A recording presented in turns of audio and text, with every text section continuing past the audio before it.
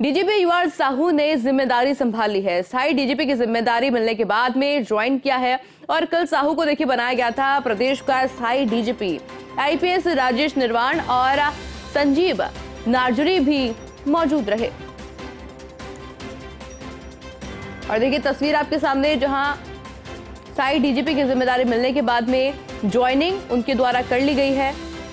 ज़िम्मेदारी उन्होंने संभाल ली है और एक्सक्लूसिव तस्वीरें फ़र्स्ट इंडिया आपको दिखा रहा है।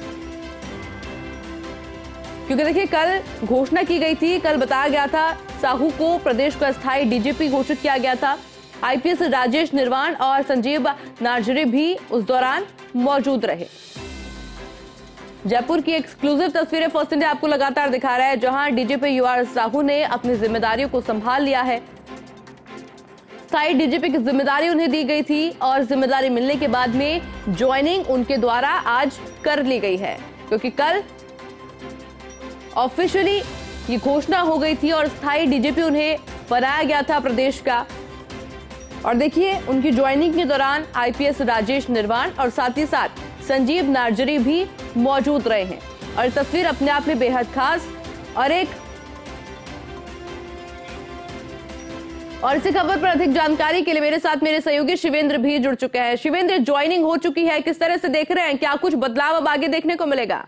देखिए, कल बड़ी ज़िम्मेदारी दी थी युवा साहू को। उनको स्थायी डीजीपी बनाया गया था। हालाँकि वो करीब 40 दिन से कार्यवाहक डीजीपी थे, लेकिन क्योंकि कल उनके स्थायी डीजीपी के आदेश निकले थे, इसके बाद उन्होंने आज ज्वाइन किया है, जो अपनी नई ज़िम्मेदारी है उस पर, और थोड़ी देर पहले ही उन्होंने पीएचक्यू में जो अपना दफ्तर है जहाँ वो बतौर कार्यवाहक डीजीपी काम कर रहे थे, वहाँ उन्होंने ज्वाइन किया है।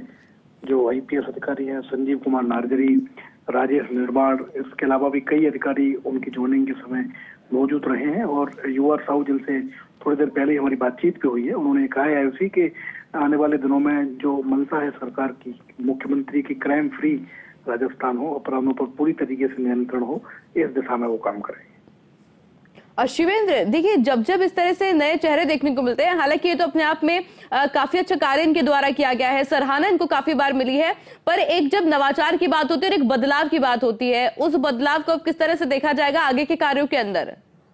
देखिए बदलाव तो देखेगा क्योंकि जो युवा साहू हैं वो 1988 बैच के आईपीएस अधिकारी हैं। बड़ा तजुर्बा है उनका लंबा अनुभव है।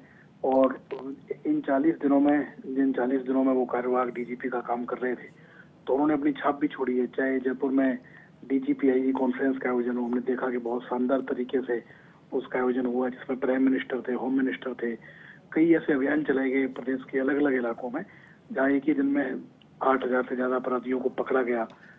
ये भी कोशिश की गई है कि जो दूसरे प्रदेशों से आने वाले गैंग हैं, गैंगस्टर हैं, उनको रोका जाए। उसमें भी कामयाबी मिली है। कई जो बड़े गिरोह थे, वो बीते एक डेढ़ महीने से बिल्कुल गायब नज़र आ रहे हैं। तो ये तय है कि आने वाले दिनों में जब युवा साहू की लीडरशिप में काम होगा क्योंकि वो स्थायी डीजीपी हैं और दो साल का एक लंबा कार्यकाल है उनके पास तो कई तरह के बदलाव हमको देखने मिलेंगे। शिवेंद्र पर इसमें प्राथमिकताएँ क्या कुछ रहने वाली उनकी?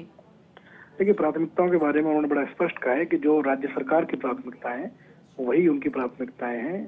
चाहे वो क्राइम को कंट्रोल करना हो लोगों को थाने में अच्छा व्यवहार हो ये हो साइबर क्राइम को लेकर भी काम करेगी, पुलिस कर भी रही है। अभी भी एक हैकोथोन का आयोजन उन्होंने कराया था। लेकिन जो मूल उनका उद्देश्य है, मूल जो उनकी प्राथमिकता है, वो यही है कि बेमुक्त पुलिस जो है, वो कानून व्यवस्था दे लोगों को किसी भी तरह का डर और खौफ नहीं रहे और अपराधी, चाहे वो राजस्थान के हो या बाहर के प्रदेशों के हो, वो अपराध करने में सफल नहीं हो पाए। बिल्कुल, शिवेंद्र बहुत बहुत शुक्रिया आपका तमाम जानकारी के लिए।